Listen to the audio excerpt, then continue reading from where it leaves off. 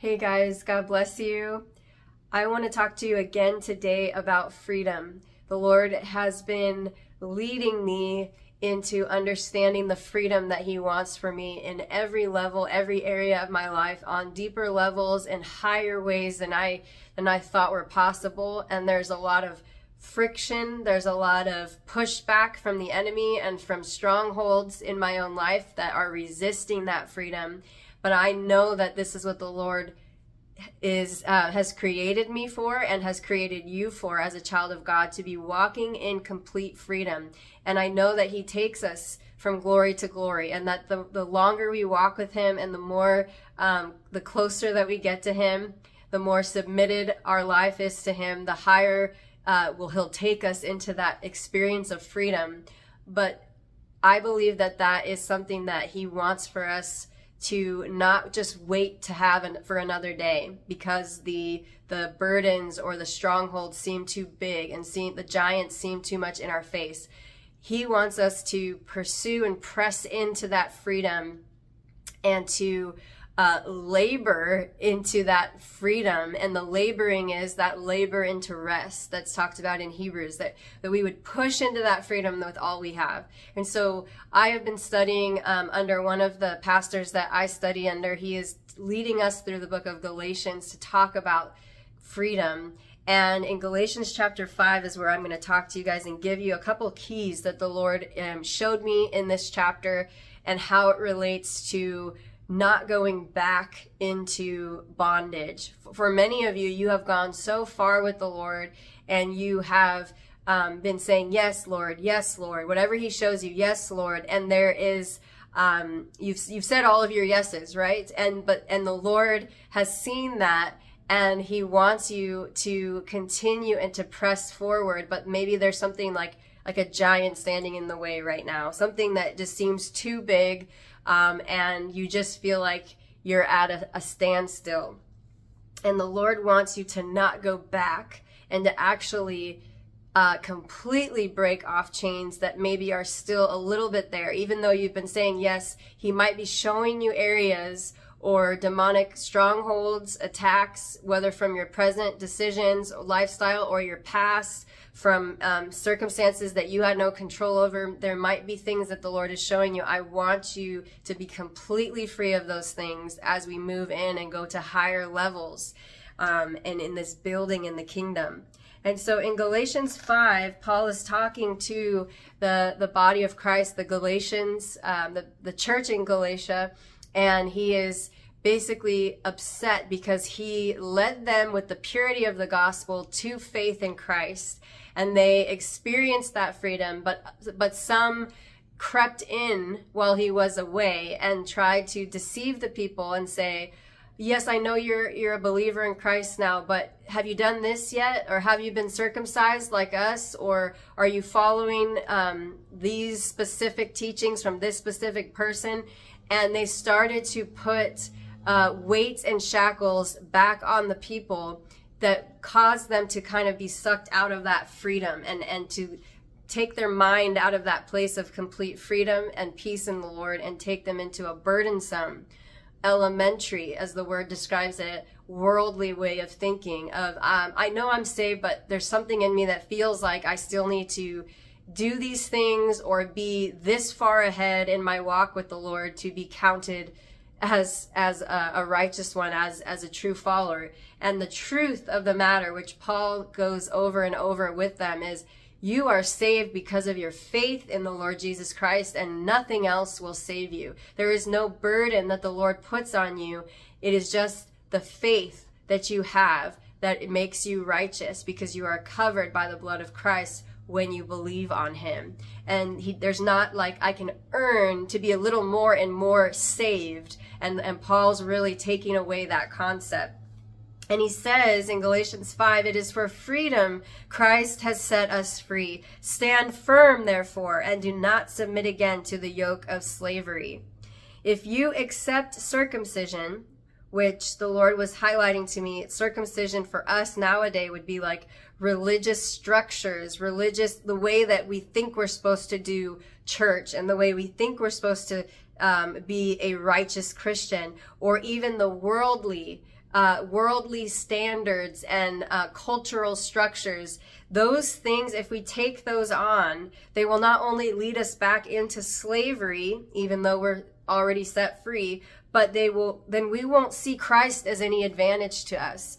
And this really hit home for me because I never want to be in a place that I don't see the value of Christ Jesus, my Savior, that I don't see that His sacrifice and His Lordship and who He is over my life as enough or as everything to me. I don't never want to be in a place where I think that I can add to what the Lord Jesus has done for me to become more righteous, to become more worthy of his love.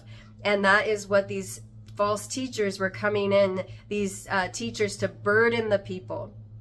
And he says to them that for in Christ Jesus, neither circumcision nor uncircumcision counts for anything, but only faith working through love. It is only the faith in your heart, in your soul, that has said yes to Christ and that is out of love for him, following him. That is your um, that is the only way to salvation is faith in Christ that comes out of your love for him. And he says, You were running well. Who hindered you from obeying the truth? This persuasion is not from him who calls you. A little leaven leavens the whole lump.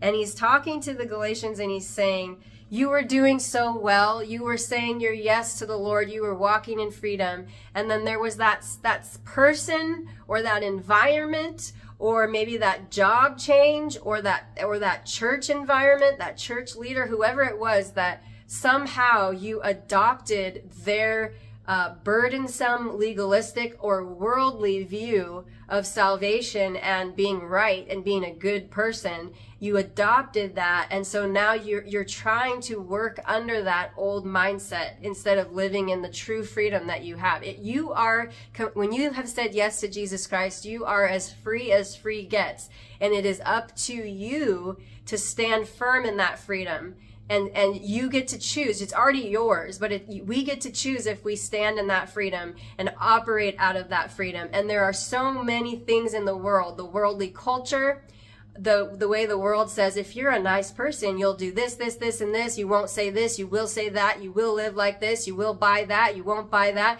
It's it's so oppressive and if you that's just from the world and then from the church if you're a good Christian, you will do this, you'll go on this mission trip, you'll serve this many hours, or you will um, love the culture in this way and you won't offend anyone. There's so many uh, burdensome laws and structures and mindsets that the that the word of God calls elementary. You don't want to go back to elementary school and follow like a like a kid on the elementary campus, um, and you don't want to go back into that type of um, immature bondage type thinking um, and childish thinking.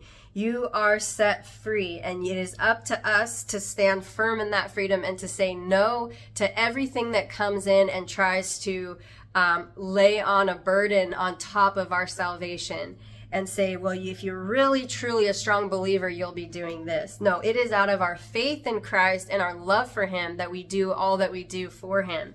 And so he says, Who hindered you?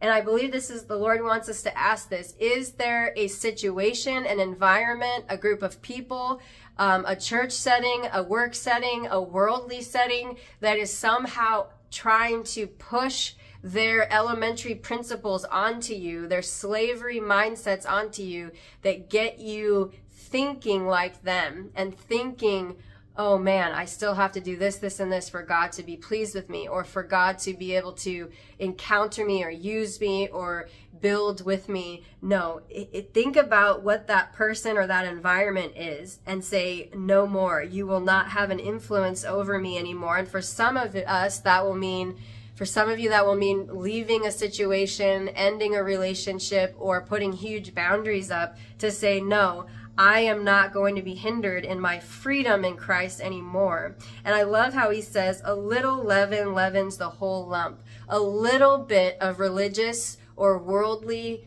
uh, mindsets can can ruin the whole the whole mind. It can it, a little bit gets in and it can almost act like a weed that just grows and it and it infects the rest of the freedom that you had been experiencing.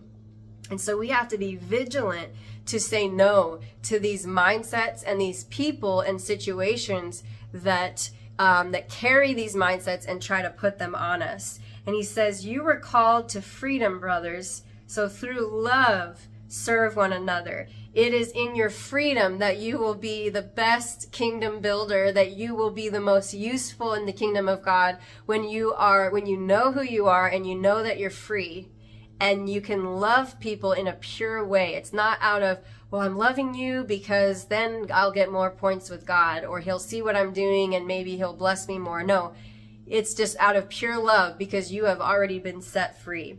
And so I just want to encourage you with this teaching. I want to um, bless you and say to stop and ask, like the Apostle Paul said, Who is this that has hindered you? You were running well. What is this person or situation or environment or mindset that's coming from the world or from the or from the uh, religious spirit that is all of a sudden standing in your way and saying, "Well, no, you're not actually free," or causing you to take on something a burden or a structure that the Lord didn't didn't have for you. And in Christ you have been set free. Hallelujah